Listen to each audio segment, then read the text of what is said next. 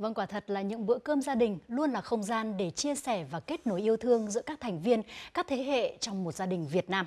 Ngày nay thì với nhịp sống bận rộn, những bữa cơm gia đình hàng ngày càng trở nên quý giá hơn và ý nghĩa. Với những gia đình đa văn hóa, bữa cơm giúp những nàng dâu chàng rể người nước ngoài hiểu thêm về những giá trị truyền thống và gắn bó hơn với mảnh đất hình chữ S, nơi mà họ coi là quê hương thứ hai của mình. Cứ mỗi cuối tuần, chị Eco và mẹ chồng người Việt lại cùng nhau đi chợ và nấu những món ăn ngon. Đây vừa là sở thích của hai mẹ con, vừa là một hoạt động không thể thiếu trong gia đình chị. Tôi thích nhất những lúc được nấu ăn cùng mẹ. Mặc dù tôi chưa nói được tiếng Việt nhiều, nhưng mẹ vẫn cố gắng chỉ dạy cho tôi mọi việc. Con mời mẹ ăn cơm. Ăn cơm. Ăn cơm đi các con. Dạ. Sống tại Việt Nam được 7 năm, nhưng chỉ từ khi kết hôn, chị Eiko mới có thể cảm nhận rõ nhất không khí đầm ấm trong bữa cơm gia đình Việt.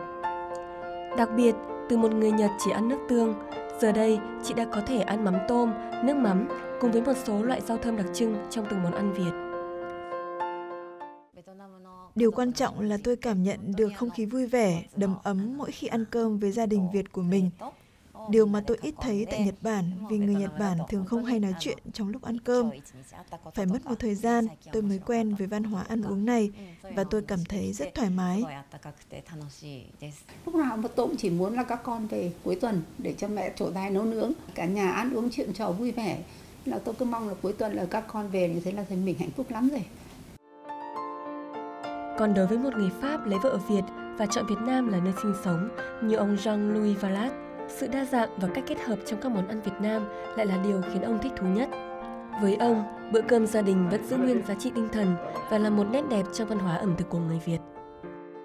Cả ngày hai vợ chồng thì bận rộn, bữa tối về là cũng nấu các cái món Việt Nam truyền thống cho anh ăn bởi vì là ừ, anh cũng rất là thích các món truyền thống của Việt Nam. Tôi học được sự quan tâm, sẻ chia trong bữa cơm gia đình Việt.